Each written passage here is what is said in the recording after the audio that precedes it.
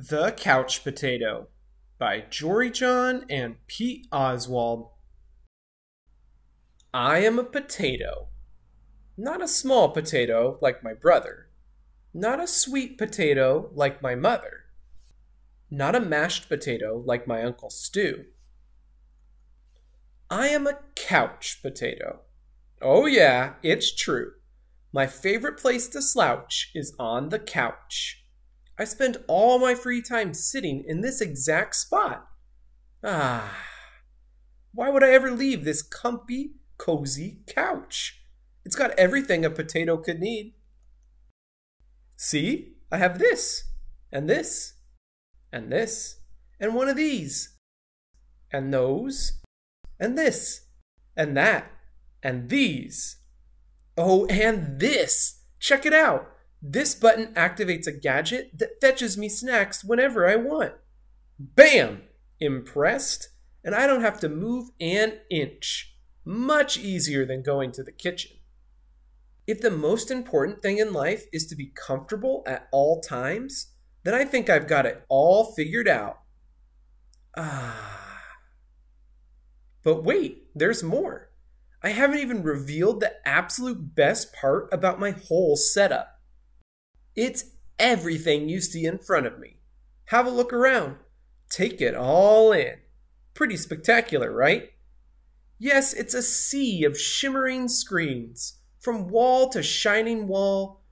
What joy! What bliss! These screens feature my favorite shows Mad Yam, Fries. mashed potatoes. This screen has all my unanswered messages. Blah, blah, blah, blah, blah, blah. Blah. These screens are where I play my video games.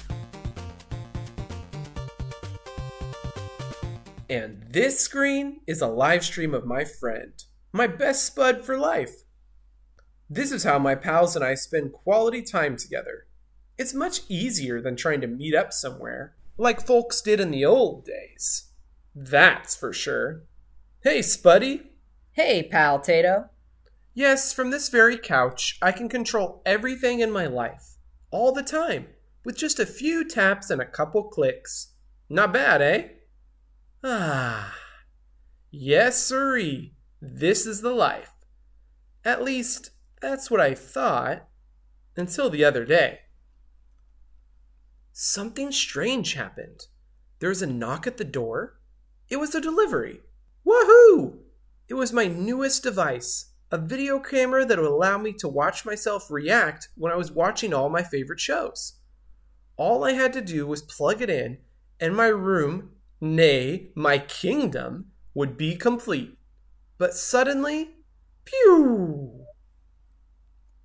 Everything went dark. Look out! Coming through! Whoops! Oof! Ow! Womp! I made it to the window. I pulled back the curtains. The sun seemed brighter than I remembered. There was nothing better to do, so I decided to take my dog, Tater, for a walk. Outside. It had been a while.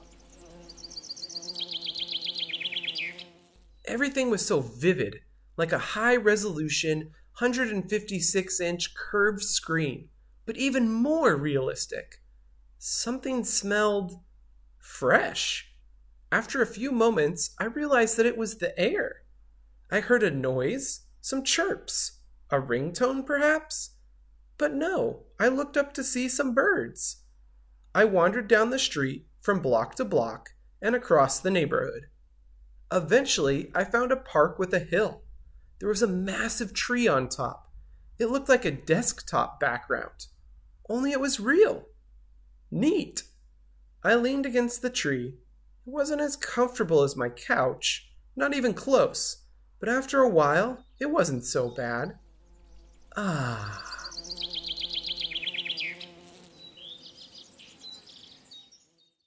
Any worries about the power outage and what I might be missing drifted away. I wasn't thinking about my favorite shows or my unanswered messages or anything else, really.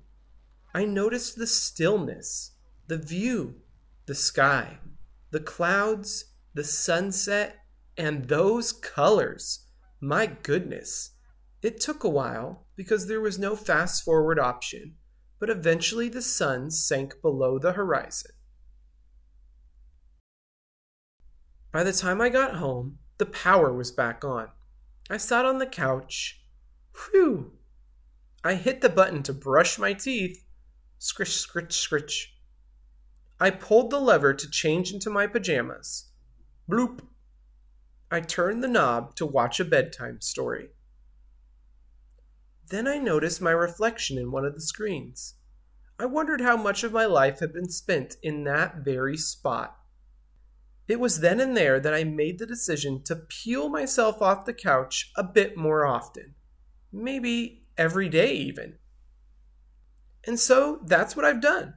I've started hanging out with my friends, my best spuddies, outside. We've started biking, and hiking, and swimming, and hiding, and seeking. Sometimes we have snacks and play board games. Sometimes we talk all day. We might watch the clouds. There's no big plan. We just see what happens. It makes me wonder what if I don't always need to be totally comfortable? What if I'm happier when I have a better balance between my gadgets and the world outside? Because it turns out that I'm more than just a couch potato. I'm an amusing potato. I'm a smart potato. I'm a kind potato. I'm an entertaining potato. And I'm a sit on a hill and watch the sunset potato. Yes, there's a great big world out there, and I want to be part of it in person.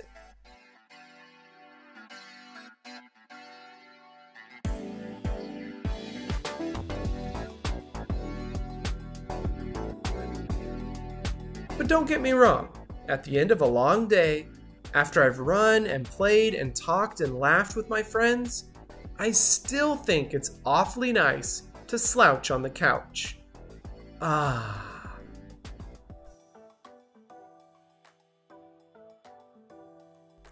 The end. Thanks for watching. Don't forget to like and subscribe.